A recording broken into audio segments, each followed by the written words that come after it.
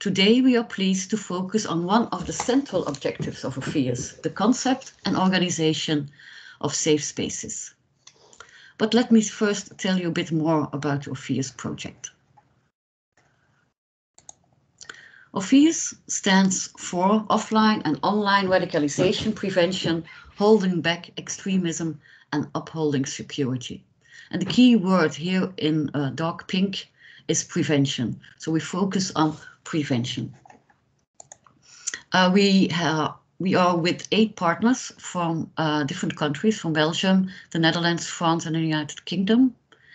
There are two local governments, City of Mechelen, Portsmouth City Council, two social organizations, Greta Grand Littoral from France and Contour de Twern slash Ernude from the Netherlands, and four knowledge partners, Ceapire, University of Portsmouth, Artevelde University of Applied Sciences in Ghent, and University College Roosevelt.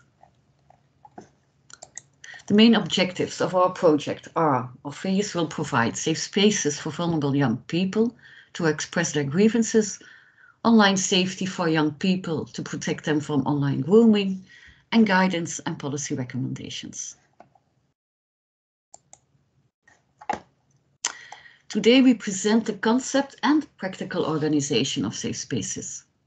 A safe space is where young people can meet, discuss sensitive topics, assisted by professionals they trust. Young people are also supported to express their grievances publicly. And the main focus here is, the main objective really is building connection and building belonging. Not only among each other, but also with society as a whole. Due to the pandemic, most gatherings with young people were cancelled. And although project partners were able to organize some safe spaces, we started experimenting with online safe spaces. And the main questions are here, are both methods, online and offline, comparable? Do online safe spaces have the same characteristics as a safe space in real life? These and other questions will be raised today. But before we start, and uh, yeah, we cannot get through meetings, uh, online meetings these days without them, some house rules. I want to remind you that this event will be recorded and will be made publicly available online on our Orpheus YouTube channel. Please also mute your microphones and switch off your camera. This will make it for people who have less uh, bandwidth uh, easier to follow and it will hopefully solve uh, uh, technical problems. Um, if there are questions, please add them uh, in the chat function. Uh, we will uh, come back to them after the presentations. Um, and after presentation, there is room uh, for other questions, so then you can raise your hand. Okay, my co-hosts of today, eh, they will start with an introduction to local policy and the framework of safe spaces, followed by two accounts uh, on the practical and really real life organization of safe spaces uh, and both online and offline. And uh, I think we can start. We don't have a lot of time. So uh, Alderman Labsir, the floor is yours. And I'm gonna ask Katie to stop presenting my PowerPoint. Thank you, Hilde. Welcome, everyone. Good morning. My name is uh, Abdrahman Labsir, and uh, I work as Alderman for Sports, Youth, and Prevention in our beautiful city of Mechelen. With the Orpheus and the safe spaces, we come across the youth and prevention part, where my colleagues try to find ways for our youth to feel safe and at home in our city that you are meeting each other today is very important for me because our youth knows the best what works for them. We still have a lot of challenges, such as a shortage of safe spaces or reliable uh, environments within existing organizations. In a safe space, young people, including those who are struggling with alienance, can uh, tell their story and look for uh, solutions. There is also a shortage for training for professional organizations, and they need also these safe spaces. These safe spaces can take many forms, thematically, group discussions, actions, individual guidance, conversation during activities, and so on. There is also a lack of knowledge for professionals and young people who have complex questions and frustrations about geopolitical issues, conspiracy theories, ideologies, fake news, and so on. When social frustration come with such a jacket, those frustrations remain the essence that professionals have to work with. Yet you have to work with that jacket before you can get to the essence. Skills in uh, politicizing are necessary in our democratic system, but are currently not so obvious to professionals.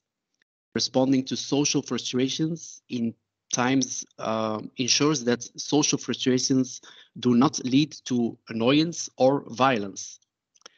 The safe spaces are very important for young people in Mechelen. It gives them a place where young people feel safe to talk about all possibilities and even difficulties. Topics such as religion, migration, the coronavirus, and so on. The Orpheus project adds a lot of value for our city. The project fits perfectly within Mechelen broad prevention policy. Therefore, it's important that we take next steps with Orpheus to create an environment where things like like this can be um, researched and after that hopefully can be implemented uh, into practical methodology so we can make an important statement with Mechelen as a pioneer. I wish you a very inspiring day and hope that our experience can continue to reinforce each other in times of polarization. It's very important to continue to emphasize that safe and resilient youth is an enrichment and the most sustainable society model. I'm looking forward also to the results at the end of the project at the end of 2022. And I thank you all.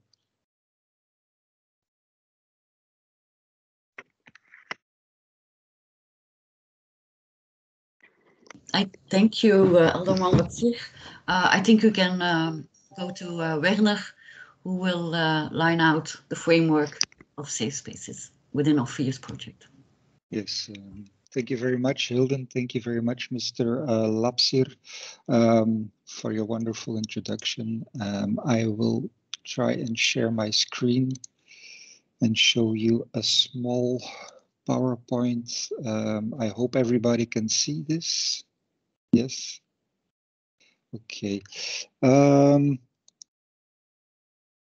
as we are talking about safe spaces and the practice that we are going to um, present today for you, um, it doesn't come out of the blue. It has some sort of an idea behind it um, that the uh, partners in Orpheus try to develop and try to use um, to um, give young people a safe place where they can as Hilde already said, and as Mr. Uh, Labsir already said, a place where they can be young um, and express their feelings about what is going wrong in the world without any fear of uh, the consequences that are uh, involved.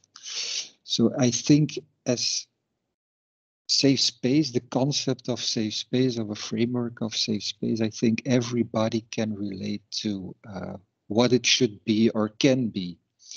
Um, before starting into the Orpheus uh, safe space ideas, um, in preparing this workshop or, or this presentation, I asked myself, what can be a safe space for me, for us, and where can everybody relate to?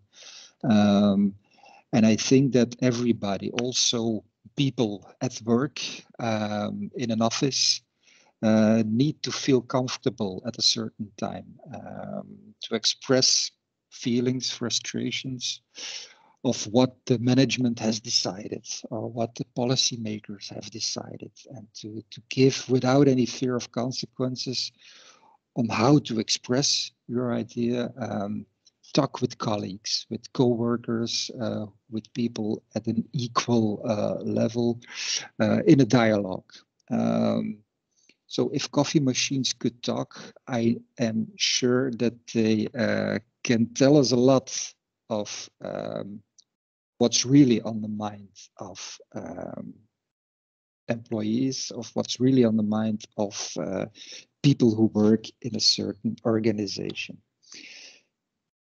But it's valuable information. It can be information to improve the work, to improve the organization, the growth of the organization, but also information on how to have happy people working in an organization, how what should be done for people to feel good in this organization, to commit, to be involved, to engage themselves in the work, um, even if it would be on a voluntary basis, um, they still will continue to work. So that's uh, that's important. And this image of coffee machines, um, and of course also the the vending machines, the snacks, uh, not to forget, are very important safe spaces for people in an organization. Um, what does it mean for Orpheus, or what have we done in Orpheus project um, to define safe spaces? Um, it's this. Um, and I'm very thankful for the partners of Artevelde uh, Hogeschool and all the other uh, knowledge institutions who helped defining this uh, in, uh, definition of a safe space in um, an information paper that we have uh, read uh, um, or made. For Orpheus. I'm going to read it. I know it can be boring in a presentation to read what's on the screen, but I think it's important just to set the minds and to be and to uh, to pick on on what we are are doing. So a safe space is a location where young people can meet each other, supported by professionals they trust. Um, delicate topics can be addressed comfortably. Young people are even stimulated to engage in uh, social institutions. And they are supported in the public expression of grievances. Um, and we should organize, or safe spaces should be organized in such a way that they enable us to offer pedagog pedagogical uh, support um, as opposed to a disproportional repressive action. Of course, this definition also is, uh, is written in the, the light of the, the topic of Orpheus, where you have polarization, extremism, radicalization, and so on, as a broader um, topic in which Orpheus was funded by Interreg to. Is it old wine in new bottles? Because safe spaces are not new. We didn't invent this idea in Orpheus. As I said, it's something that is human. We all need safe spaces. Um, but I, I can imagine we, we can have two types of, of, of, of safe space. Protective safe spaces that we know that um, we have done for, for decades uh, even, to protect uh, children, to protect youth, uh, youngsters who are in danger. Um, let's say it's institutionalized, it's organized by, um, by adults who know better for the child or for the youngsters what is best for them um, to take them sometimes out of their families, out of their um, trusted environments, and put them in um, organizations where they are or can be educated, re educated, prepare for real life, um, and so on and so on. That's can be a type of uh, safe space. It's not a type of safe space that we have in mind in the Orpheus project. Another type of safe space can be um, a 100% informal safe space. Um, young people who are claiming public domain uh, without any interference of adults, without any interference of uh, government or police, um, creating their own authentic street culture, um, hanging around, as they say. Um, and you it's very difficult to to manage this, to to steer this. Eh? If uh, everybody uh, knows when you are uh, planning to redesign uh, a, part of public domain and you um, envisage a place for young people that they can be at this corner um, under the lights and under a camera to hang around. Um, the first thing that happens is young people will not hang around there where you are foreseeing a place to hang around. No, they will search and find their own place. So this 100% informal, informal safe space, it exists, but you can't manage this. So the idea in um, Orpheus is to to have this um, approach uh, where you where we will have let's say an internal dimension. Um, we want to uh, create safe spaces that can be organized uh, at a location, at a place that feels natural, authentic uh, for young people, where people are coming spontaneously, where you can feel young, can be young. Um, without any fear. So you have it has to be something um, original, authentic uh, for young people. Um, also, the content has to be spot on. Um, it doesn't have to be uh, a content that is um, imposed, like in a school. Uh, you have to follow certain courses, even if it not if it doesn't interest you. You still have to come. Now, the content in these safe spaces have to come from young people. They have to engage and they have to put some things on the agenda them, themselves to facilitate a peer-to-peer dialogue and the skills for professionals because in our idea safe spaces are um, also led or organized by professionals uh, which young people trust um, but we want to provide skills for those professionals on how to um, take the maximum, let's say, out of these safe spaces in uh, in order to um, upscale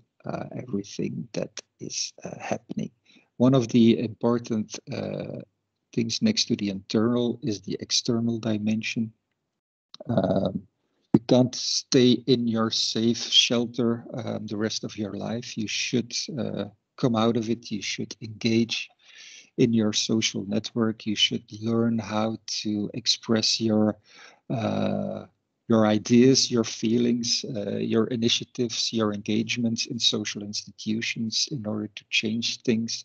Um, and we want in Orpheus through the safe spaces, support young people in expressing their grievances um, outside of the safe shelter where you can um, can talk. So we want to learn, um, if I may refer to the coffee machine, we want to learn how you can uh, speak with the management in order to change for good things.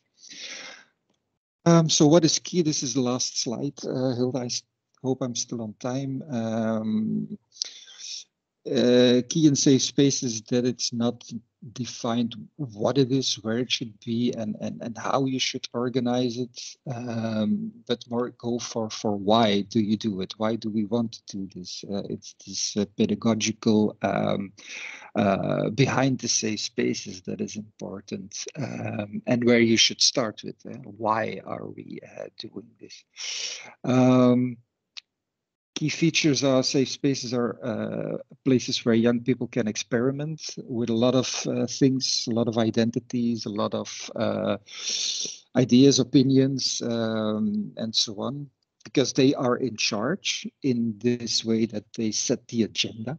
Um, they express their needs and grievances, um, not the needs and grievances that are uh, imposed by uh, by others, uh, and where they of course, have to take up responsibilities or learn to take up uh, uh, responsibilities and uh, eventually engage in actual local political uh, context uh, to um, make their voices count and make their voices taken into account so things can um, be um, altered, changed um, for the better in uh, this local context.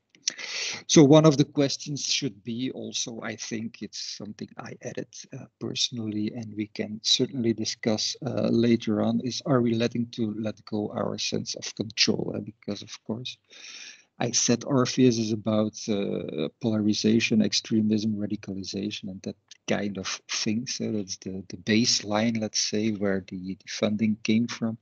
Um, traditionally, of course, we try to control all these things. And um, as you might have heard in my uh, presentation, safe spaces are turning things around and letting go a bit of this uh, control. So that's uh, that's an important thing to to to to have uh, in mind and to uh, be aware of that. Um, um, we can't control everything, um, and we have to learn and be uh, comfortable with that. So this is a bit what I wanted to um, present and, and give uh, as an input into this uh, this webinar. Um, of course, safe spaces, Hilde said it, it's, uh, it's experimenting. Nothing is written in stone. Um, this is how we are trying to shape uh, safe spaces in the Orpheus project. But of course, um, we are open for discussion and really want to learn what it can be. So that's why I'm very happy that we can shift to questions is for later, so I will uh, stop this. Um, shift to the real practices of what are safe spaces and not just a theoretical um, framework. Thank you. Okay, thank you, Werner, uh, for this uh, very interesting uh, introduction and, and, and, raising important questions. Uh, why? why do we do safe spaces? Uh, and really, um, maybe connected to this, uh, what's the impact, uh, not only on, on policy, uh, but mainly on young people themselves, and how do we handle uh, our sense, our, our need to control, and let control go really. So um, no, and it's, it's uh, directly linked on what we're gonna hear uh, next. It's um, Martine van Gool of Air, Newt, of We Newt, um, from the city of Dordrecht. Um, and she and some of her colleagues, some of her members of the youth organization will present their experiences uh, with safe spaces. Um, so I think, uh, Martine, if you and your colleagues could put on your camera, um, the floor is again yours, please. Thank you, uh, Hilde, for this introduction. Um, as said, my name is Martine. I work at Renewed, the youth organization in Dordrecht. Um, I, uh, there's been a lot of uh, theoretics about what safe spaces are already. Um, so I'm just going to introduce to you Revolt. Um, for the people who don't know yet, um, this was the online space that we provided for a lot of youth um, where um, they could talk about whatever was on their mind. We've talked about um, politics, but also we had a lot of um, other parties come to our meetings to present uh, their problems for the youth to discuss. Um, and I brought with me uh, Lamba today. Um, also, Quinty was going to be here, but she called in sick, unfortunately. Um, and as a lot of professionals have already talked about safe spaces, I really want to give the floor to Lamba, who's um, been in our uh, group. And I think she can express what revolt is better than I could. Okay, hi everyone. First, I want uh, want to say that my English is not that well, but I will try to uh, speak to you.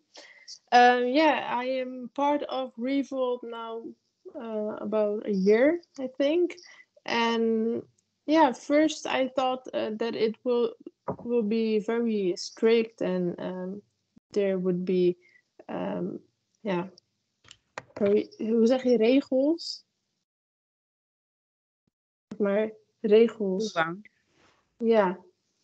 So, uh, but that isn't so. You can express yourself how you want to. You can talk uh, with with, um, for example, Martine, but uh, also other uh, people who, um, yeah who are there for you and you are free to talk about everything that comes into your mind. And that's why i uh, like it very much um, to be uh, part of uh, revolt. And i think that um, many countries uh, should start to to do safe spaces um, and revolt is an example of sort of a spa safe space but it isn't called uh, a safe space. But yeah, it is uh, a little bit like that. I don't know what to say uh, for the rest. So, what is the most memorable thing we did uh, in Revolt? Um, so I'm uh, always been uh, into politics and I like to express myself. So, one thing that I will not forget uh, so soon is that um, we all expressed all uh, our ideas about what we will do if we had our own uh, political party. So that I, yeah, I was very interested to hear from everyone what they would do and everyone listened uh, also to me what I would do if I had, had my own uh, political party, and that's something I would never forget. I think because that was uh, fun and uh, interesting. Yeah. So uh, I think that is, uh, in short, what what we do in Revolt, and yeah. Thank you for listening. Listening.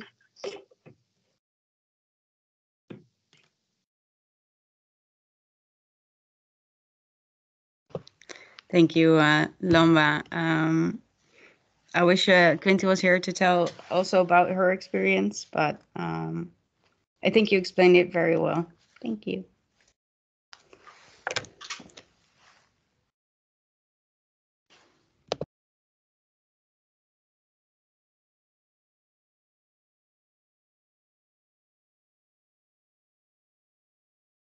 Okay.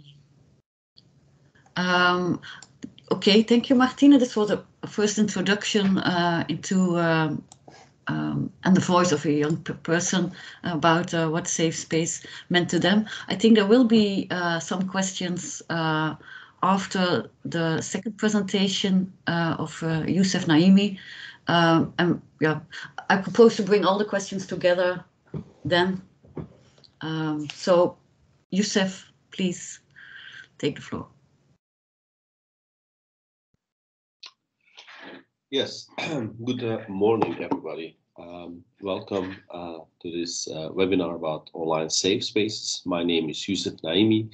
Uh, I work for the NGO Ceapire, and I'm going to give some um, going to share some experiences and uh, insights about organizing online safe spaces, uh, what they are, um, how they work, uh, what the challenges, but also the benefits, the advantages and the disadvantages of online safe spaces are.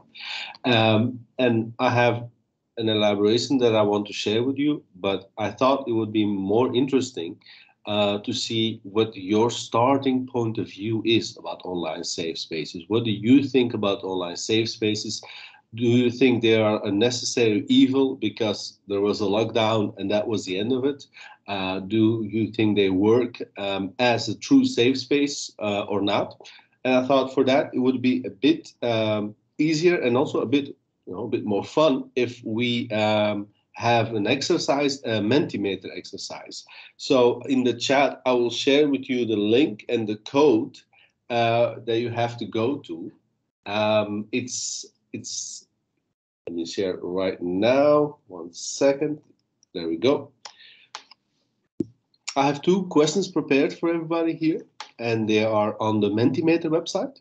So it would be um, if you could take your smartphone or on the computer or the laptop that you are right now uh, following this presentation on. And if you go to uh, www.menti.com and you use the code, uh, you will be presented with a question. I actually have two questions prepared for everybody. And I just want to see what your initial perception is of online safe spaces, because that is what our focus will be on the online aspect. Now, um, I want to give a, a, a very uh, quick elaboration on the first question uh, or premise as such, because it is actually a premise, so that you understand what I mean by it. Uh, the first premise that I have, and I will see if I can share my screen. Maybe it's a bit easier if I can. Uh, let's see. One question. All right. Uh, let's see. Can I share it? If Teams works with me, that would be great. Um,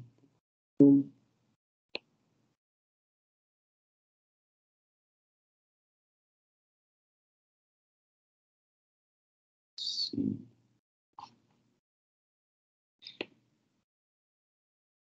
I already see that two people have already answered. I was going to give a quick elaboration, but that's not a problem. Let me just quick elaborate what I mean by the premise first and foremost, so that people understand what I mean. Um, we, we all have heard the sentence that we are right now in this modern age more connected than ever, but still feel more lonely than ever. And so in that aspect, I wanted to ask the crowd, do you think that online safe space have the same dichotomy or the same problem that yes, they cause uh, they will create more connection between uh, people on a digital level, but will actually cause more loneliness and more alienation because instead of bringing young people together in a real location, in a real safe space, you once again push them to the uh, abstract online world and make them uh, more alienated from themselves because it's all it's all digital. We, we could be more or less anonymous in the dig digital world, and there will be no true connection uh, in a safe space. Is there anyone who has that kind of worry? I see most answers already coming in, and eight people are saying that online safe spaces will on the premise of that online safe spaces will cause alienation rather than connection, I think everybody has said not true. Um, two people have said not sure. Um, so it would have been great if, if someone said true, because then obviously then we'd have uh, an interesting difference of opinion on this matter. Let's see. Uh, there we go. So I see 13 people have uh, replied not true, and two persons have replied not sure. Um, it would be interesting for me uh, to ask the person that have said not sure, because obviously the person said it is not true. I can easily understand that. But for those people who said not sure, uh, who were the ones who said not sure? Could could you perhaps raise your hand uh, via Teams, and I can could uh, let you have the word. Um, Werner, why did you choose not sure? Um, because as you uh, because I'm not not sure that it's it's it can be a safe space. Also, maybe because I'm uh, uh, 40 plus and not a youngster, uh, that can maybe uh, be some part of uh, explanation.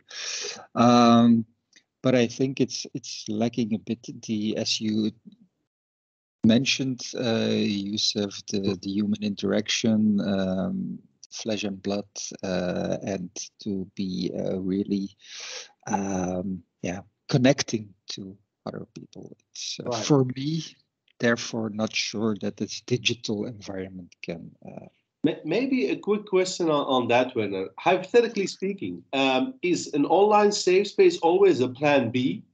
Always a plan B? Hypothetically speaking, if we if we're sure that 10 people will show up, is an online safe space then always option B and never option A? Um, maybe yes uh, but better a safe space and better online than not a safe space and, and um, yeah so maybe yeah it's for me more plan b than uh, plan a yes. all right uh, thank you Anna. let me see uh, toby Baldari Toby? Yes. You also not sure? Yeah, I think, I, uh, in my opinion, the um, the question is a bit too too much simplified. I think it's a lot a lot more complex than just saying okay, it is not safe. Uh, just because it's about uh, it's about emotions, about feelings, it's about um, feeling feeling safe, and that's not something that you can just uh, conceptualize and okay, online is not safe and offline is safe. I think it's it's too simple. Uh, it's too simple to say that or to ask that question. There are a lot more different aspects on that on that uh, on that matter. So, so so I presume Toby that you do not agree with with the premise that an online safe space is always Plan B and never Plan A. I, pre I presume that you do not agree with that. Uh, no, I think I think there should not be the discussion on plan B or plan A should not be on the table. There should be on the table how are we um, how we how how are we outreaching to the youth at this moment and what is working. Right. And if plan A is working, then we choose plan A, and if plan B is working, we choose plan B. But it's not that there is a hierarchy in plan B is A is better or plan B is better. It's just let's see what works and put our money on that, so, so to speak. Very quickly, and I'll, I'll, I'll finish uh, um, uh, the discussion with you, Toby. That is what I asked Werner, that hypothetically speaking, Toby, if you're sure you can reach 10 young people that will be present, hypothetically speaking, would you always prefer an offline safe space than an online? If you know 10 people will be present, no matter what, would you always say, well, in that case, if I know 10 people will definitely be present, then I will always get uh, take an offline safe space instead of an online? Uh, no, no. I, I think it again. It's it's a bit too simple. I think it's if there's no no. If something works for ten people, or then then it's then let's let's choose individually what works for every person. So um, I think that's the important thing to look at. And it's not only for the for the young person that it should work. It's also for the person that is assisting or wants to uh, wants to provide help in some sort of way that needs to work. So the, the connection needs to be authentic and needs to be uh, safe. And the, if the connection is safe, to me, it doesn't matter if it's online or offline. If you get if you get what I definitely definitely. Thank you very much, Sophie. Thank you so much. I have one more question for everybody, and I'll uh, click on it now. And I think uh, most of you have already answered the second question as well. Uh, the second question or the second premise was online safe spaces cannot guarantee real safety because it is online. And I see that here there's a more uh, split opinion. So the, the, the, the, the meaning or the, the idea behind this premise was that, well, in the online world, we never really know who we're talking to. And thus, if we don't know who we're talking to, then I, I cannot be in a safe space because to be in a safe space means uh, one of the things that means is that I know where I am and who I am talking to, and whether or not me giving an answer is going to put me in some kind of threat or danger or whatsoever. And online, you, you never have that real safe safety uh, because because it is online. Um, I have question uh, for those. I see that three people have uh, replied saying it is true that they agree with the premise that it cannot be uh, cannot guarantee uh, safety. Six people said not true, and one person said not sure. I have um, my question is for those. Maybe you can raise your hand as well. For those who said true, for those that agreed that online safe spaces cannot guarantee real safety because it is online. Could you perhaps elaborate on that? Um, a, a, short elaboration. Uh, Ilyas Maraha, you chose true for the premise? Yes, um, because I think, um, like uh, like I said, the online, the offline world is, is just one one big world. But um, to guarantee the safety and, and, to talk on, on real topics that that are very close to uh, to youngsters, mm -hmm. and um, actually have in mind that the information that they share uh, will be seen by other youngsters. Maybe they know them, maybe they don't know them. Mm -hmm. it could be um, a very um, um, unsafe way how to express your feelings because you don't know who's uh, who's the other one. So the introduction must be way more uh, in depth so that the youngsters actually know what information they will share there, what's going to be afterwards. Will that follow them in other chat rooms, other forums? Uh, will that be a friend of a friend they don't know online? So the the the digital well-being is, is, is way more, um, uh, and you have to put a lot more energy to to gain the trust. So I, I really think that um, gathering a group of youngsters that certainly do not know each other online will be more yeah, uh, difficult to uh, to engage them all. That's my point of view in that.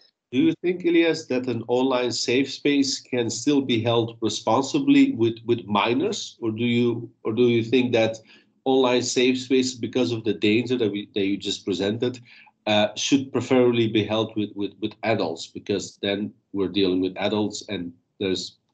Uh, mm-hmm. What do you think? It can, be done with, with youngsters also. I think uh, if the topic is uh, is correct. Um, I will give you an, an anecdote that I, I, use a lot. Um, we tell our children, do not trust people online that you don't know, don't know in real life, especially uh, older uh, people who are trying to talk about you about, let's say, topic sexual uh, orientation and so on. We teach the children, do not do that. Otherwise, uh, if you take that topic to to uh, to talk about it in, in a safe space, yeah, um, I really want them to uh, get their parents together uh, to, to, tell them their parents about about that one. If you're uh, I'm, I'm, not minor anymore, if you're if you're 18 plus, you can make your own choices. So depending on the topic, you, yes, you can have um, really in-depth talks with with youngsters um, if it's okay. And I think um, um to talk about newer media, for example, now on, on violence and Squid Games, uh, the, the, the big Netflix uh, hit.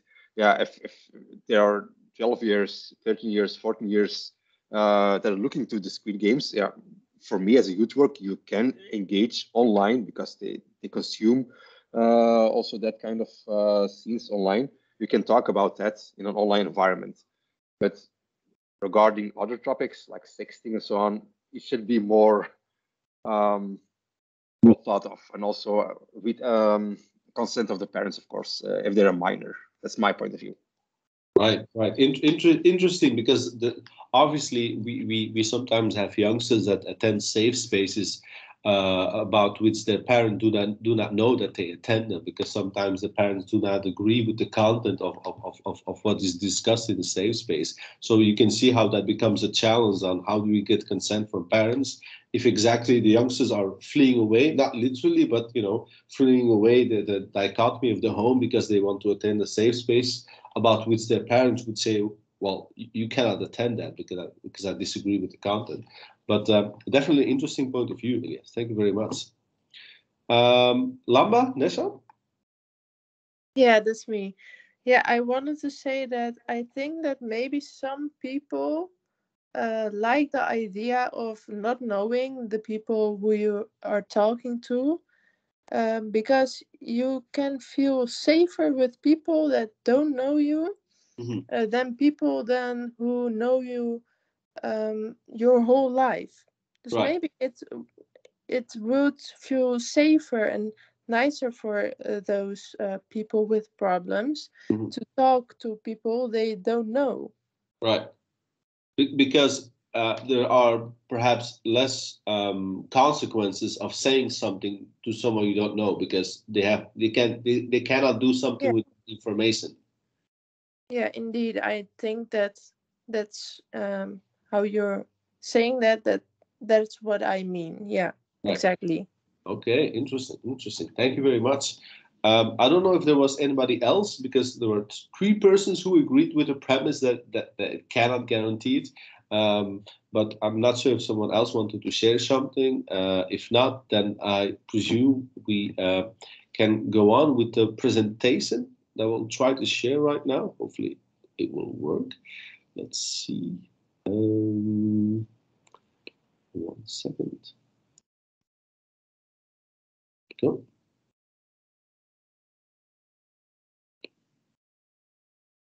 So my question is, can you see the PowerPoint or not? Because I'm not sure if I... Yes, we can.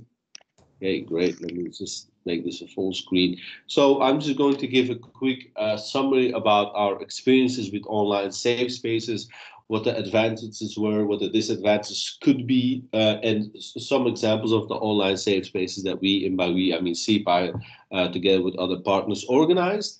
Um, of course, first and foremost, the whole notion of online safe spaces came to be in the notion of the lockdown uh, with the pandemic and a lot of youngsters being uh, alienated in a literal sense of way from the rest of society and not able to participate, especially in the first months when everything was uh, terminated and every every kind of uh, participation in even in youth centers could not happen, and thus the need for talk for discussion uh, uh, was uh, was a reality. That that need was really there, especially once the pandemic started to uh, evolve.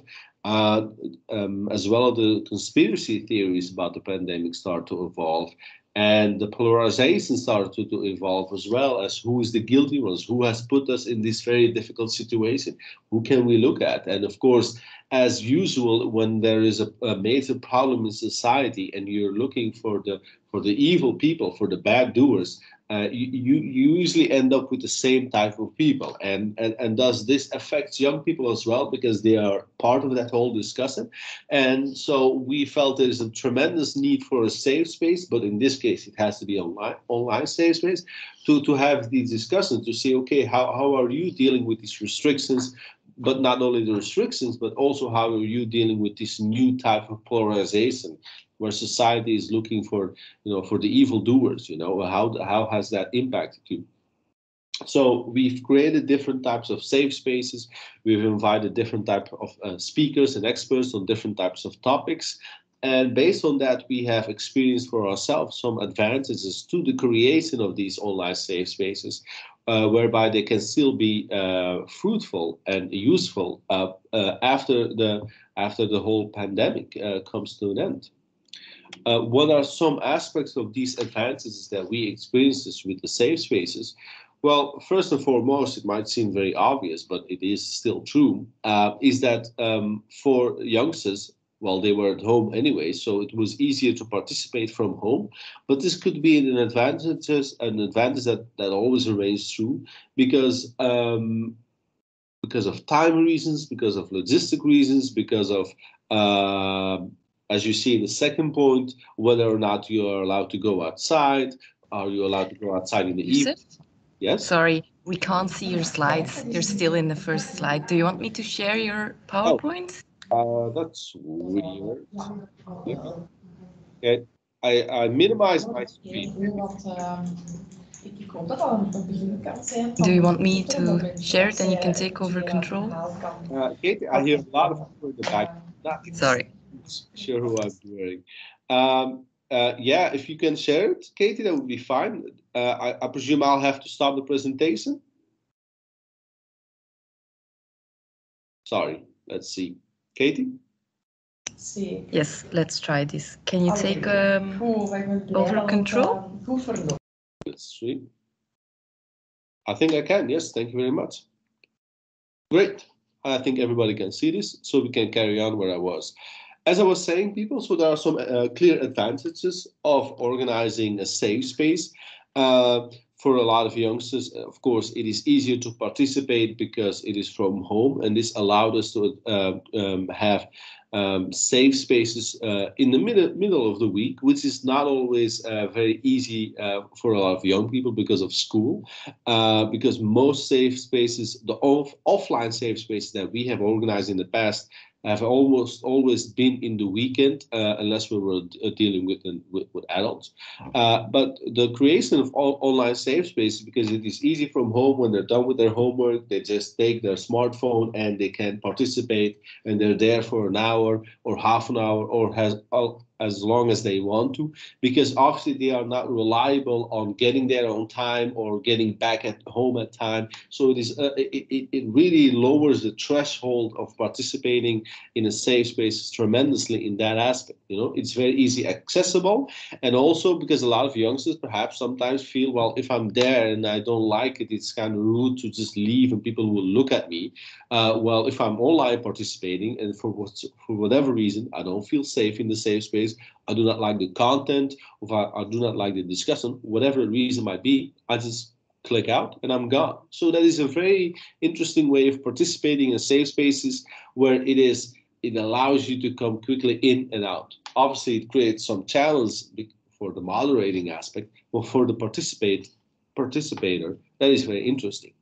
Um, so connected to that, as I preluded to earlier, the second point, uh, going outside, especially with uh, in in in, uh, in, some neighborhoods, in, uh, in in in some cultures, you know, let, us let's, let's be really frank about it.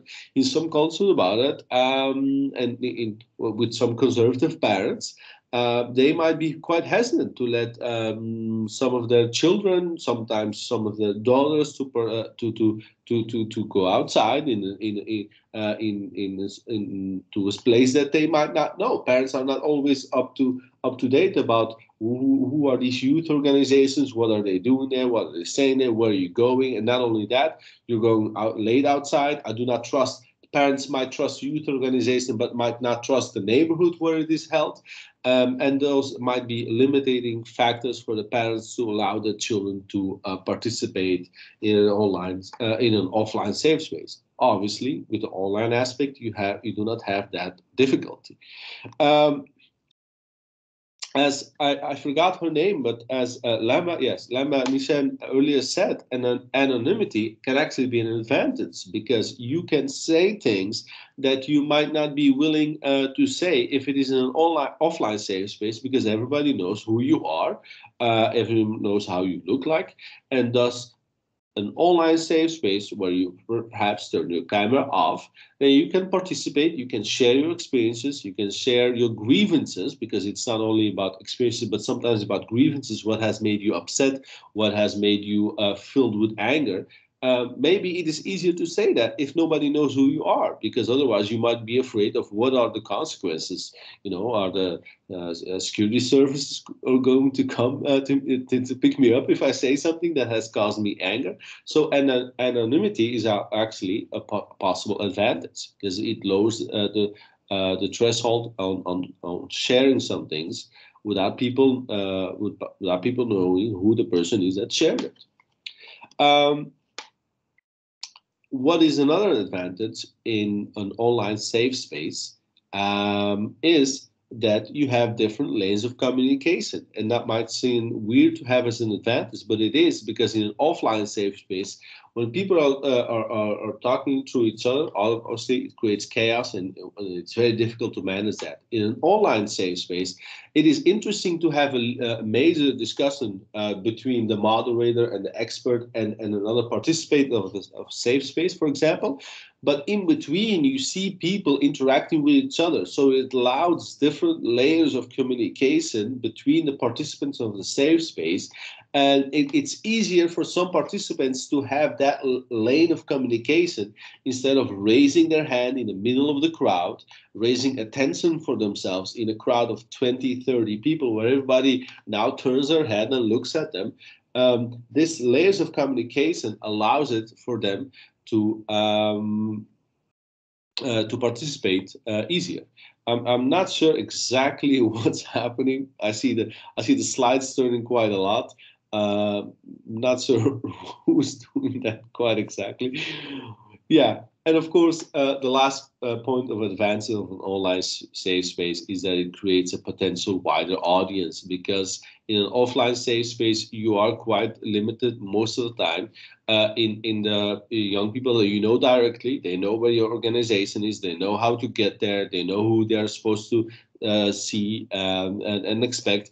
And of course, in an online in an online safe space, you create this event online, you share it to the different social media, and you can decide that it is open for everybody and it is all it is uh, uh, accessible for everybody in a real in a real tangible way. Uh, for example, if I don't know an organization, but they're organizing a safe space, but an online way, it's just one click away and I'm there instead of going to a building I don't know, going to seeing people I don't know.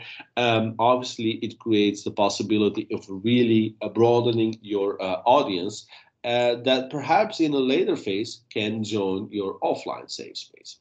Good.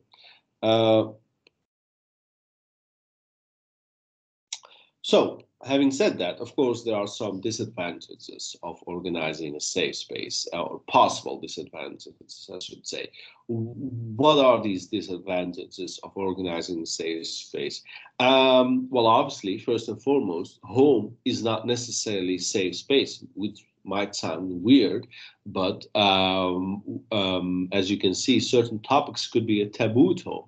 So uh, some young people will uh, consciously leave their home and go to this offline safe space, another location, another building with other people, because they know that certain topics cannot be discussed at home without some, uh, perhaps some severe consequences or rebuttal uh, fr from the parents, from the brother, from the sister, because it is deemed as irrespectable or not not okay to discuss these topics. Or perhaps some young people would like to share something, but their family members might disagree on that which is being uh, discussed or shared. Um, Katie, I don't know exactly what happened, but suddenly. I also don't know what happened. Give me a second. No problem. No problem. So uh, while Katie tries to bring back the presentation, I'll just carry on about. So what you should be very careful when you're organizing a safe space, an online safe spaces uh, at home uh, as to ask yourself, well, this topic, is this something where young people can really freely talk about? For example, the topic of uh, sexuality. In certain households, uh, parents are, especially when you're dealing with minors, parents are uh, frowned upon discussing sexuality because they deem it is unnecessary because their child is still too young to talk about it and especially when you're talking for let, us take some cliche examples when you're talking about um, LGBTQ matters. If you're talking that in certain households, in, in certain parts of our society, uh, they frown upon this, and thus hope is not necessarily a safe space, and so that might make those type of discussions tricky. And that's why I said the advantage is that you have the different layers of communication because perhaps they can share something without actually have to uh, speak it out and they can just write it down in the chat and that's all that, that is an advantage of course.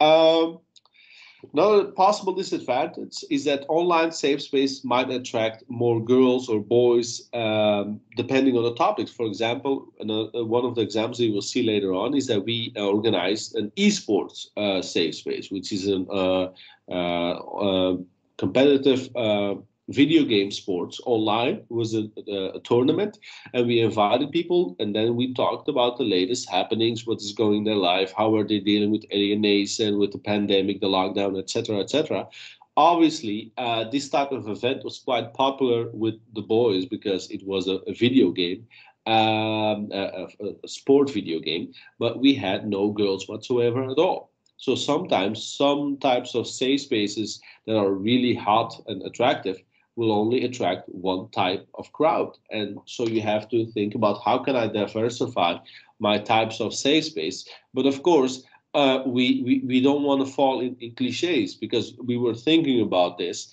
All right, how can we attract a safe space for only girls, you know, and, and make it like unique? And, and you know, someone said, uh, without thinking too much too far about this like all right maybe we we can create a cooking safe space. And then yeah but the idea was like yeah but are we then creating stereotypes? Uh, boys can do the uh, sports uh, safe space and girls can do the cooking so we don't want to fall into that trap again.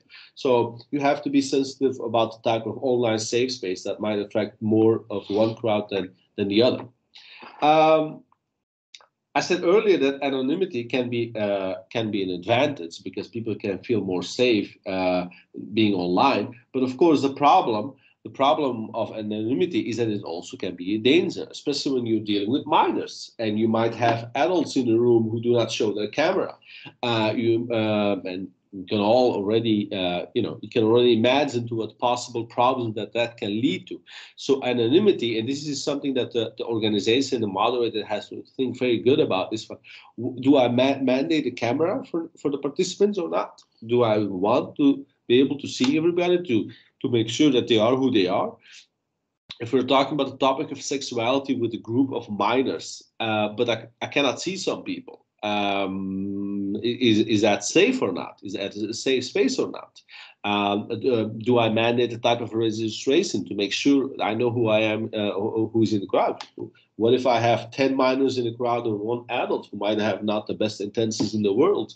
Uh, am I uh, creating a, uh, an unsafe space instead of a safe space? So these are the possible disadvantages of an online safety, so which you should think quite thoroughly about. Uh, and the next point might seem a bit, uh, well, unlikely for some because it is seen as so evident everybody has a smartphone. But of course, you have technical and financial obstacles in creating online safe spaces. Um, you presume that everybody has the necessary equipment, such as a smartphone or a decent working computer, internet at home, which everybody presumes that uh, everybody in, in, in these countries have. Well, obviously, that is not true. We still have households of uh, low income where uh, internet at home is not always uh, a given. Um, the same for a smartphone. You know, not all uh, people have access to a decent working smartphone, um, especially when you're dealing with minors. Perhaps uh, parents do not want their child to have a smartphone yet, and thus you have to think about that aspect as well. Will I be able to reach the, my, my audience um, um, despite these obstacles?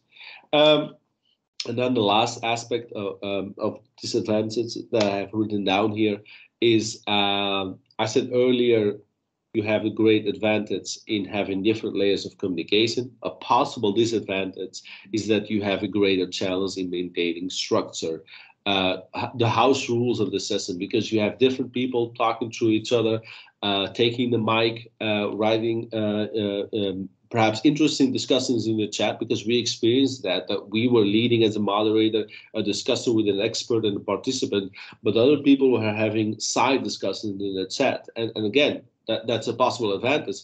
But you, of course, uh, the online uh, safe space creates more of a uh, a structural hassle in the sense you are expected to to uh, keep uh, uh, watch of different layers of communication, and sometimes you need more than one person, three or three, uh, two or three persons to keep uh, to make sure that the whole event is still a safe space, that not something is being said in the chat that is creating a toxic a toxic level uh, in in in your uh, in your discussion, in your group discussion. So it does create some challenge uh, and uh, it, it, requires more than one person to manage the, the, the, event. Whereas in an offline safe space, of course, you can just attract attention very easily. You can see who's who's talking, who's talking to who, and online is a bit different. Good. Uh, let's see. Let's go to the next one. Some various aspect of online safe spaces. Uh, as I said earlier, um, what is interesting is to think about when you're organizing online safe spaces, whether or not there's going to be a connection between online and offline safe spaces. Are these different types of events? Uh, because obviously when you create safe space and you create a discussion and you make think people think about it, it does not the, the, the thinking does not end when you end your safe space. So people still carry it on. In offline safe spaces, what happens most of the times organizations create series of discussions and they might refer back to it. So you have to think about yourself, well, if I create an online safe space, but next month there is an offline, are they in connection with each other? Do we just forget about it because it was a different crowd, might not be the same audience as I have in my offline safe spaces? So, what is the connection uh, uh, between the online and offline safe space? Are these two types of different events, or do I try to uh, make a connection between the offline and online uh, safe spaces? Um, the the staff aspect I also discussed previously. that it is very important that you need moderators to lead the discussion, but you also always require people to lead the technical aspects. Uh, uh, as you can see today, it can be a challenge for us as well, uh, for managing the presentation, the technical aspects. Perhaps some people have trouble connecting, some people uh, had trouble uh, with the password. Some people cannot see if you're using a Mentimeter, a tool. That's just an example of a tool. Uh, so you need different types of people managing that. So you need a real proper staff for the online aspect because sometimes people presume, oh, it's online, it's behind your uh, laptop. You, you can just manage it by yourself, and that is not true. You need different. You need the whole staff to manage the online safe space. Um, of course, very interesting uh, with online safe spaces that evaluation can be sent very quickly after the safe spaces because usually uh, there is some type of registration, not always, but usually some type where you have the email address. And that's interesting that you can use in all online safe spaces. As soon as that is ended, you send them a very quick email where they can just click on a smartphone within five questions. And it's a bit, perhaps it's a bit more easier than sometimes in offline safe space where you ask people, and what did you think of it? And you get a very broad and vague answer of like, yeah, it was all right, or I don't know. And so, uh, the online aspect does create you this tool of quickly sending an evaluation form to see how your audience, uh, what other thinks of it. Uh, good. And then ending is uh, uh, with two examples of online uh, safe spaces that we created. Uh, in the left example you see, I already uh, talked about earlier, was um, the example of an online safe space that we created during the pandemic lockdown, uh, where we created an esports tournament uh, FIFA in your cot, which means FIFA in your home, basically. And we created a tournament. We invited a speaker, which is always quite interesting and, and, and sometimes even necessary, is that you need a speaker that attracts young people. You might call them an influencer as such. Um, that all, of course, has affinity with the event itself. So we invited someone that, you know, um, did know the, the game and did play the game himself. So obviously that makes it threshold a bit lower uh, and could play with, with our participants as well. And meanwhile, we could discuss certain types of topics related to the, the, the core event of the safe space. But again, the, the challenge that we saw, as I said earlier, is that we uh, had only boys in this event and, and no girls. Um, and then to the right, another example of a safe space that we created is social injustice how can i i'm just going to translate it how can i contribute in the in the struggle or in the fight against uh, inequality? Uh, with Dalila herman a very famous uh, um, author and uh, activist in in belgium uh, which was uh, gave us a total different crowd. Most of the participants were young women um, some women of color um, but it was was a bit of a diverse crowd, but a totally different crowd than, than the esports tournament, where it were most of them were young men, young men, young men of color, uh, primarily from the Maghreb uh, uh, area that participate in our event. This was a totally different crowd with different types of views of of uh, uh, different expectations of the safe space as well, because it was more it was more uh, where uh, where the safe space was more laid back in the esports tournament. In this safe space it was very okay let's talk about this very serious matter because it was ongoing with the protest of black lives matter but uh, there was still there was this whole struggle. Can we can we participate in a demonstration when there's a lockdown and a pandemic going on? Uh, is it responsible or not? Well if it's not responsible then what can we do and how do we do it? And do we have to, to have discussions with people at home now where, uh, which we are locked with them in our home because of the pandemic? But do we still have to continue the struggle so it was a very more serious safe space, but nonetheless a safe space because you still create that safety of having different types of experiences with people with, diff- with uh, different views on how to deal with social injustice.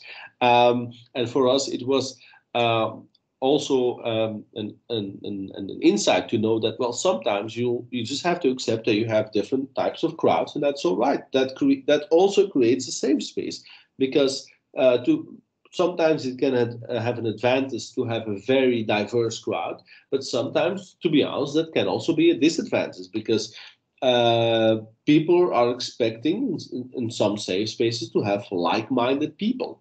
Um, and in other safe spaces, people come and to share their views, knowing I will not have like-minded people in, in my event. And so, so for us, that was these different types of events were all uh, were all positive, of course, but it is important for the organization to think about am i going for one crowd one type of crowd? Do they have to be diverse? Is that diversity a strength? It could be but it, it is not always. It might actually hurt your safe space because of what people are expecting um, in our esports tournament, people were expecting different views. Some were saying, "Oh, this pandemic is not real." Others saying, "Oh, of course it is real," and you know, different views. In in the aspect of social injustice, we could feel from the crowd that they would not be very tolerable to people who would say, for example, um, um, "I don't like black the Black Lives Matter movement," or would say statements like, for example, if they would have said statements like "All lives matters." We could very easily assess that that type of uh, diversity, potential diversity in the crowd would have uh, would have uh, have a negative, harmful impact on on, on, our safe space. So uh, this is something that organizations should think of.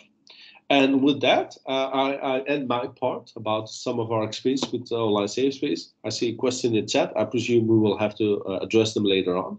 But thank you very much. And Hilde, back to you. Thank you, Youcef. Very interesting.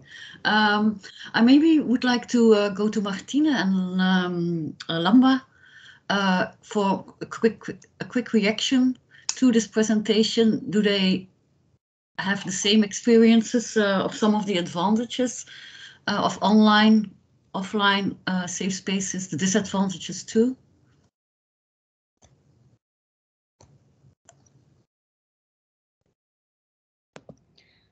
Lamba, do you want to react? uh, yeah, I will try.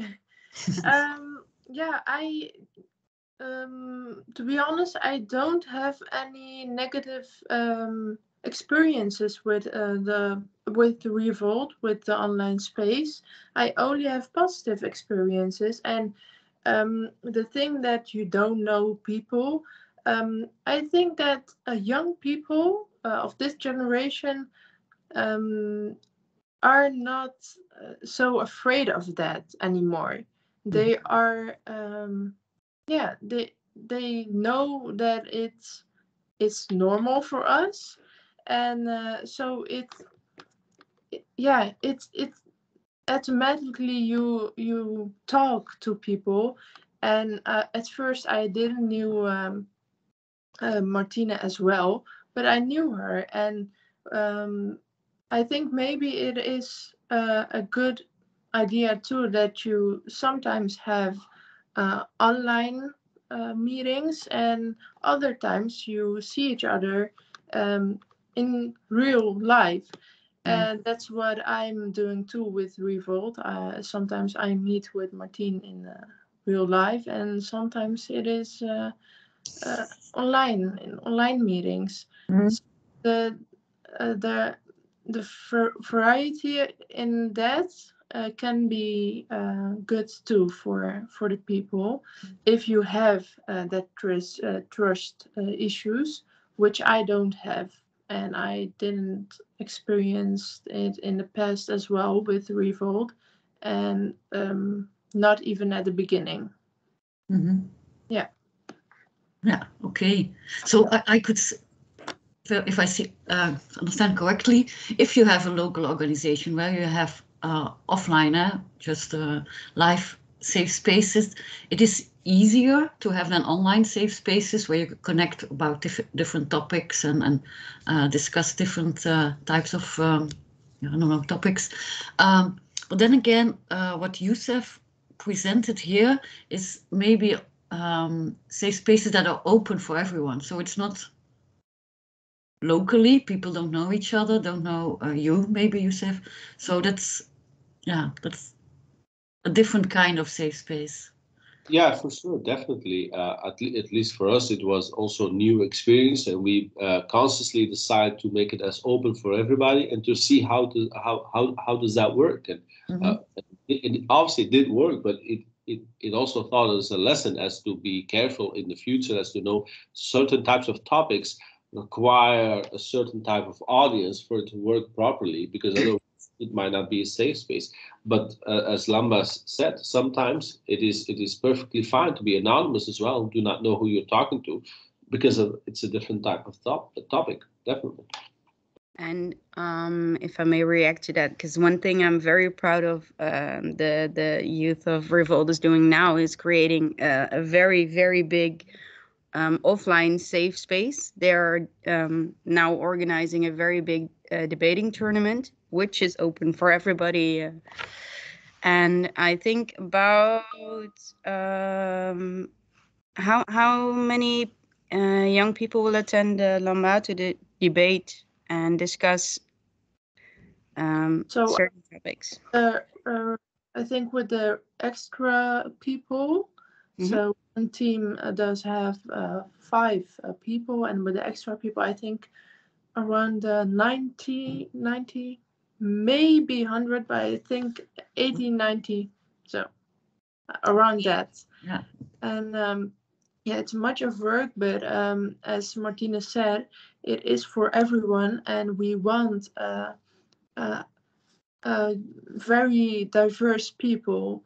So yeah, Mhm. that's uh, everyone is uh, welcome, and I um, I think it is like uh, sort of the revolt meetings I'm talking about now, not uh, debating anymore. It is a kind of a classroom, but a smart, so small classroom with not much people. So in school you have uh, classrooms with uh, with uh, 30 people, uh, 25, and with uh, Revolt you have uh, six, sometimes uh, maybe eight, but it doesn't matter because you can talk about anything you want, and nobody is judging you. Mhm.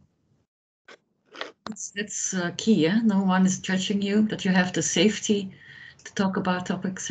I like very much the idea what you present now, these um, um, discussions, this open discussion you're organizing, um, because that's even a step further. Eh? That, that's the second part of, of safe spaces, the external dimension, the politicization, getting publicly, uh, speaking publicly, publicly uh, and sharing um, your your ideas, um, grievances, maybe even uh, with the wider public. So, uh, wow, very nice. Okay, um, maybe um, also Youcef uh, of Martine of, of Lamba would like to share something also about uh, this politicization, about um, policy of local governments, policy of uh, bigger organizations, why it is important to organize safe spaces, to um, to offer safe spaces to young people. Um, well, we offered two meetings with um, mayors from two uh, different uh, cities, from Dordrecht and from Tilburg, uh, within Revolt, uh, mainly about what uh, young people think about the uh, corona measure measures, um, and I think to create an environment where those two parties can meet each other and discuss. Okay, because um, one of the mayors wasn't very open-minded, Mhm. uh, so to say, and uh, really didn't consider uh, the perspective of young people. The other one um, tried to, but didn't really have those conversations or discussions with young people. So when they, when he did, uh, the mayor of Dordrecht, um, it he he really um, opened up to the perspective of young people, I think, and really considered this in the next uh, decisions he had to make around the, the measures.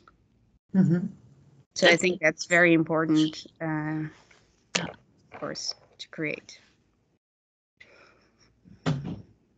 Did you have the same uh, experience, uh, Lamba, with the mayors? Yes, uh, I have. Uh, like Martine said, uh, some older people don't uh, aren't that open-minded, but um, you can learn from uh, that too because you can learn to debate uh, with such uh, people. You can learn to defend yourself in conversations like that. So um, yeah, I think it's in very much ways you can learn from spaces like that. Mhm. And uh, many times uh, those people come to us. We don't even have to invite them to talk with us. Uh, they um, they uh, come to us to talk uh, talk with about anything. Mhm. So uh, yeah, I think it is uh, much much advantages. Okay. Youcef, did you want to add something to this? Yeah, very quickly, I just wanted to share that for us, what made safe spaces so um, necessary, not only relevant but necessary, is that we are we were primarily focusing of have been focusing on on young people who are from a, a part of society that easily gets alienated, that easily does not feel represented uh, in different organizations, institutions, does not feel that uh, their point of view get get a fair share in, in the society. And I think that is why safe spaces play such a major role. That when you're dealing with people who feel uh, uh, who have these grievances, actually, because they have a point of view that differs from the dominant uh, culture, difference uh, what the established culture says how things should be done or things should look at. I think that's why safe spaces are so important, but because you give these crowds, in our example, a lot of these crowds are people, uh, people of color who participate in, in our safe spaces, because um, they they know that they, they, do not find the same type of openness in other organizations uh, or, or where where their point of view is seen as something other as something weird because they are a minority and they are not part of the majority. And it does not only have to do with ethnic uh, aspects to, to, be clear because i think today what you see at the other side is that uh, uh is that caucasian people let me call it as such Caucasian people uh, with, with, with a very right point, uh, right wing point of view, do not always feel that they have a safe space to discuss certain type of topics, and and, and that might drive them towards certain types uh, of uh, dark aspects in society, but also in the internet. And I think that's why safe spaces are so so important. That we have because uh, it's an act of prevention. Eh? It's all in line of the prevention work. Eh? To, to make sure that before things go bad, that, that we can have discussions even with people who have different points of view or point of views that we seem to or that we deem to be outside of the uh, what is acceptable. Uh, and I think that is why safe spaces in the line of prevention is so necessary. Okay. Thank and you. then, uh, Youcef, if I may ask a question, um, what is done with the you have the discussions and is there anything is there a result of those discussions or is there uh, anything being done with the information you gather? Well that that that really depends on uh, the topic and who you are working with and what their expectations are. Uh, what, what you see sometimes is when you have these discussions uh, in a certain type of organization for example and you see there is a type of need for young people to express themselves. For example, one crowd that we worked with and had safe spaces on is um, there were various aspects, uh, cultural and arts that uh, were present in their life, but they've never found a way to express themselves because of their in, in, an example I give, because of they were from a minority background, and they felt that a at home there was no space for that, and and b the society itself did not create this, uh, the space as well. Uh, for example, the schools or the institutions were for these youngsters not a, an appropriate place to express that aspect of arts and culture in their life, but they still felt that need. And, and, and, and, and so you create or it's easier said than done but you try to see okay what, what what what can we create? What facilities can we propose to these youngsters where they can come and they can express themselves? And you see a whole different types of organizations that exist today. For example participating partner that we visited during a partner meeting bus is, is a very key player of that who said all right we need to give our our our, uh, our youngsters uh, the, these expressions of themselves. And I think that is very crucial, is that we help young people in, in a constructive way express themselves. And, and that is very as, uh, important of, the prevention. But again, I, I, have to repeat what I said. It is not only the cliche of, oh yeah, people of color. No, again, you see that a lot of youngsters today, Caucasian people, uh, primarily men, but I presume the same can be for women, uh, young women as well. But uh, primarily young men who do not feel where they can go and express themselves in a constructive way because they are deemed to be outside of the ordinary. And a lot of times with these youngsters, it is just to have to have the space to express themselves. That in and, uh, in and of itself can be can, can be uh, for themselves a, a very as, important aspect of their identity. To feel that in my society I can express myself, and they might differ with me, but that's fine. But the society allows me to be who I am. I think that in itself is a very powerful tool. Thank you, Youcef. We will um, now I, I, propose to now turn to uh, our audience and see uh, if there are questions. Uh, in the chat, not a lot yet, but there's one question uh, from Vas, and it has to do with what we are doing within our Orpheus is experimenting and what works, what doesn't work. Um, and uh, essential for this is feedback eh, from participants. How do they feel about what we are doing? Um, so first question is, uh, do you think that it's for young people easier, and it's just a practical question, but essential, um, it's easier for them to give feedback online than on paper? Is that something you well, let, let me tell you what I experienced with offline safe space because it is a social event and you want to have some evaluation after the offline event. And you, for example, you, you share a piece of paper with, with people what happens is that people are not interested at all in evaluation at that moment. They want to talk to each other. They want to have some laugh, some discussion, etc. And the last thing that people want to do is fill in some kind of boring piece of paper. And and we've experienced that if it's an online event, sometimes you even can send the evaluation uh, uh, in the last minute, uh, immediately mm-hmm. It is very you have a sound we, we have at that very moment, not later on, but at that very moment, you have less distractions because you do not have the whole uh, audience of 30, 40 friends that you haven't seen in a month. It's, it's you're just in your room and you get a mail ping, all right, and, and you hear the moderator saying, "Can you please, uh, uh, can everyone please have a quick look at evaluation and just very quickly fill it in?" That's like a very small gap, but it's a golden gap as such. That you can easily uh, uh, get evaluation. Where in the offline event, you're just shouting, please don't forget. Yes. And people are just like, you know, totally different. Yeah, yeah. Getting that wings and walking around and yeah, yeah. Trying to, you know, you, you, you, are throwing pens over the whole uh, audience. so everybody has it because, you know, sometimes you, you don't have 30 pens. These small things, uh, logistic wise, uh, and less distractions online in that very moment uh, makes has made it for us easier online than, than offline. Mm. Okay, uh, I'll uh, I'll give the word to Vas because um, he wants to explain a bit more maybe about his question.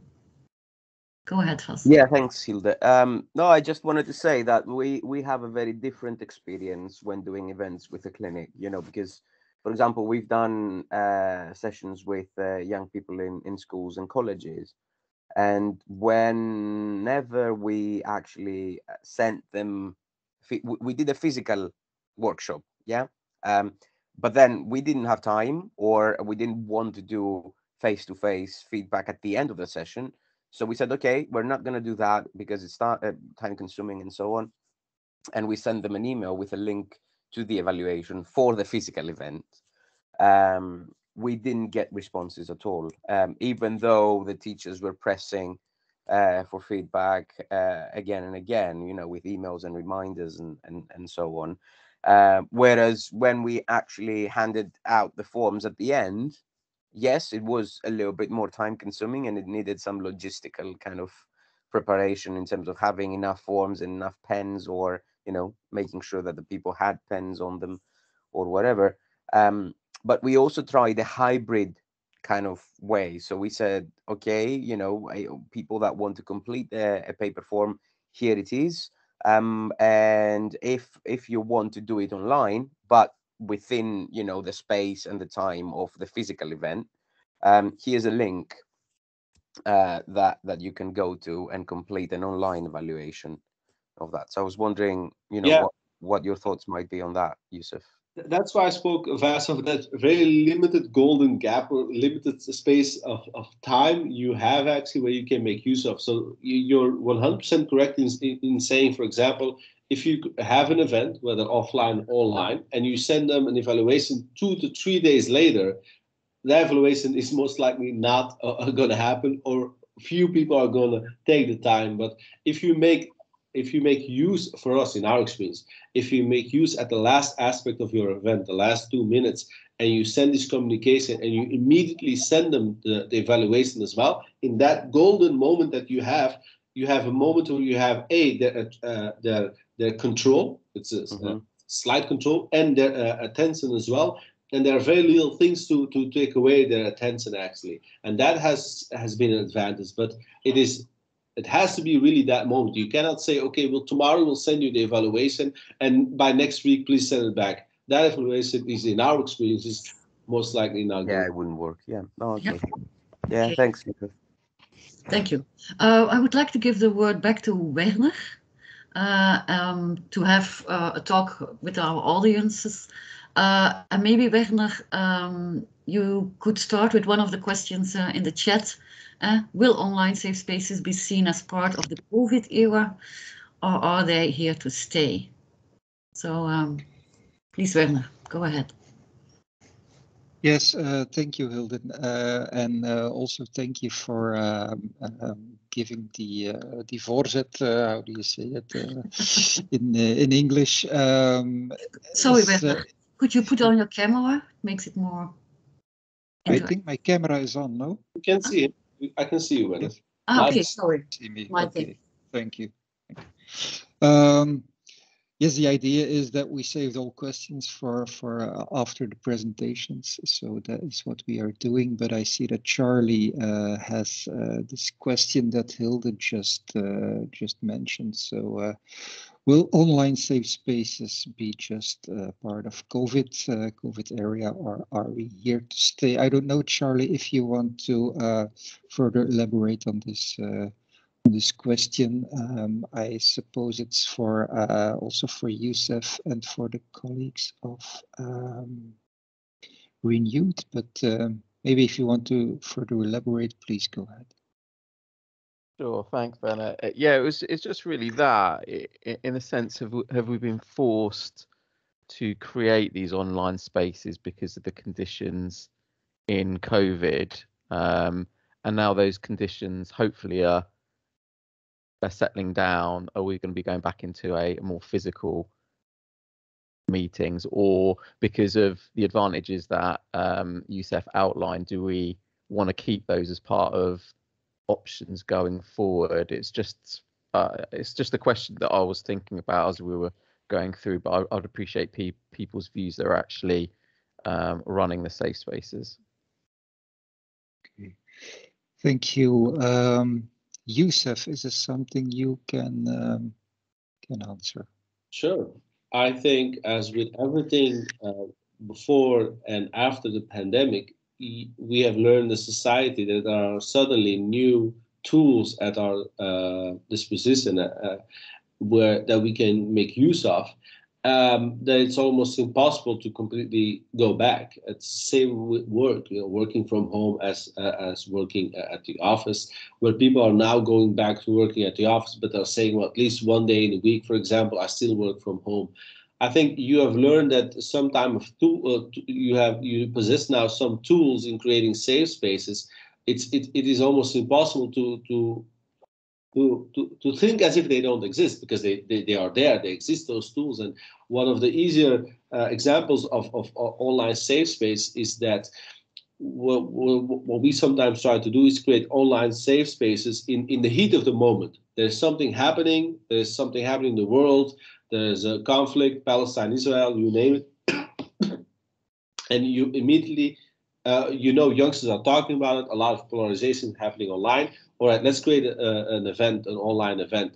Because creating offline event, you have to think of so many logistics, you have to hire the building and this and that, and I don't know what. Online is you create a flyer, you create a form and a link, and you're there. Apologies. And I think that aspect of immediacy is so critical to the online safe spaces. Sorry. I think I talked too much.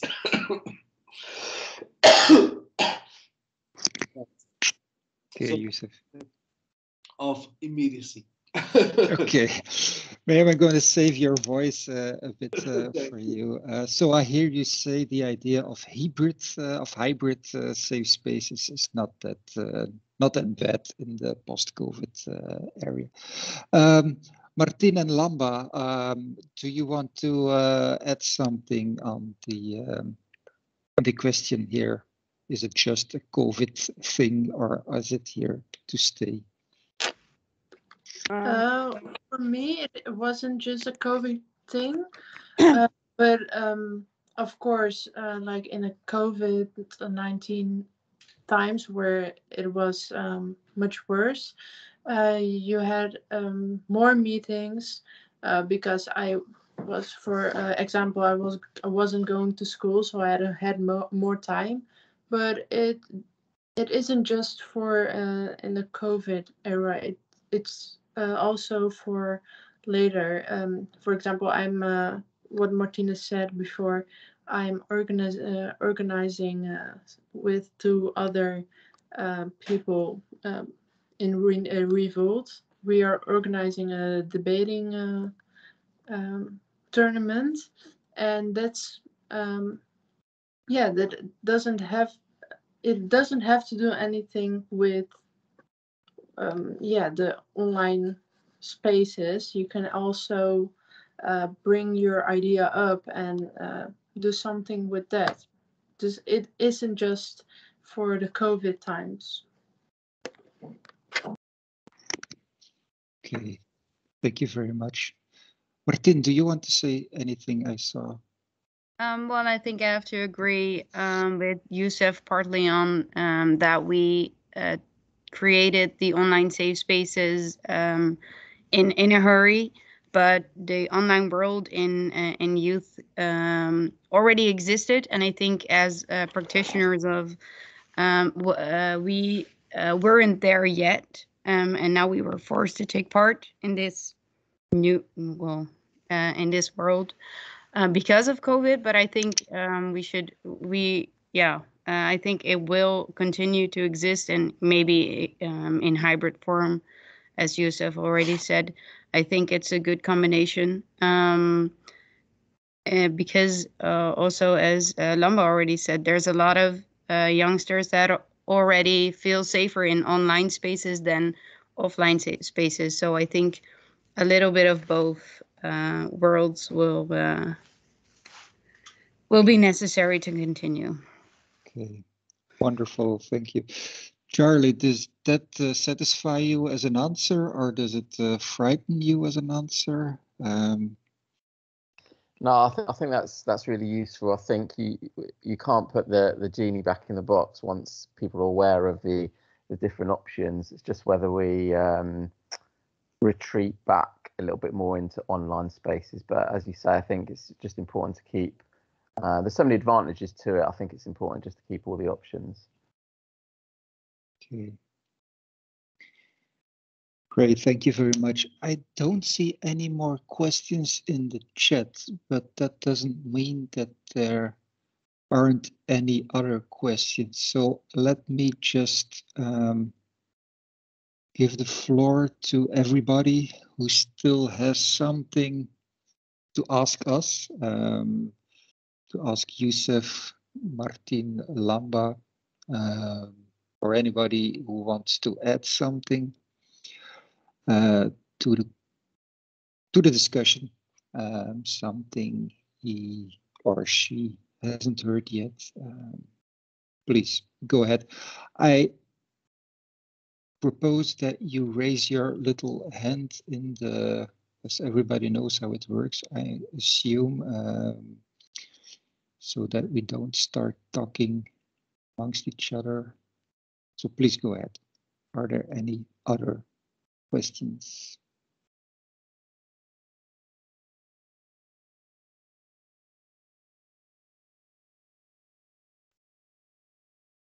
No? Okay.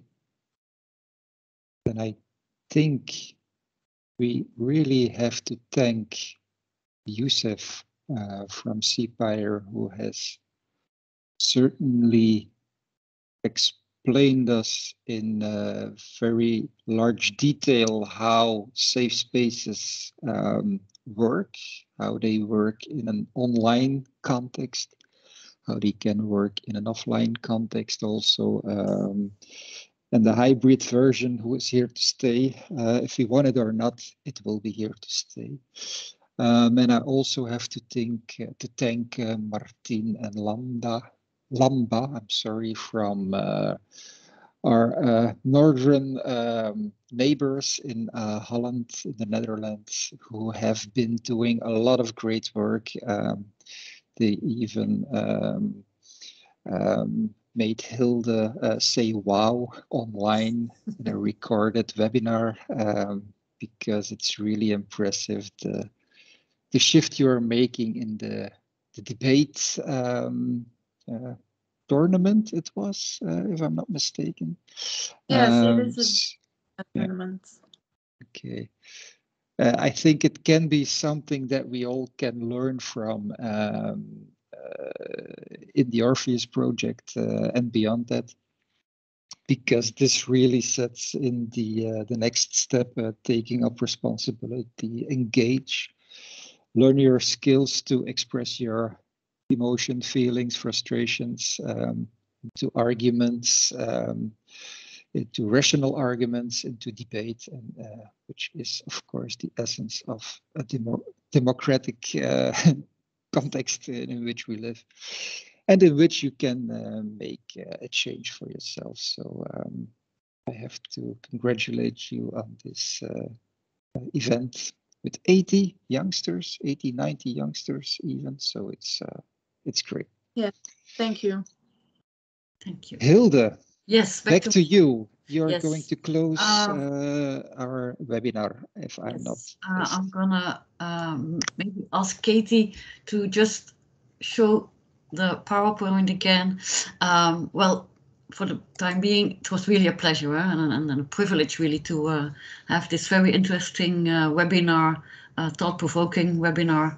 Uh, I also want to take the opportunity to thank uh, Katie Marivoet, Lies Barends and Kaula Benamor uh, for coordination and technical backup of this webinar.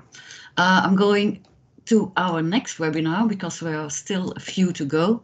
Uh, the next upcoming Orpheus webinar will be on modern Islamic reform movements. Uh, the host will be the Ceapire and it's on the 25th of November 2021. We don't have yet an hour, I think, but we will communicate it as soon as we know it. Okay, so yeah, thank you for joining us. Um, you can follow the uh, activities. You can subscribe to an email, uh, to a newsletter by sending an email. Uh, you can follow us on LinkedIn. Uh, you can write directly to me, or you can have a look at our website, will which will be yeah, launched in the next week. Thank you for joining us, and uh, hope to see you soon. Bye. Thank you too. Bye bye.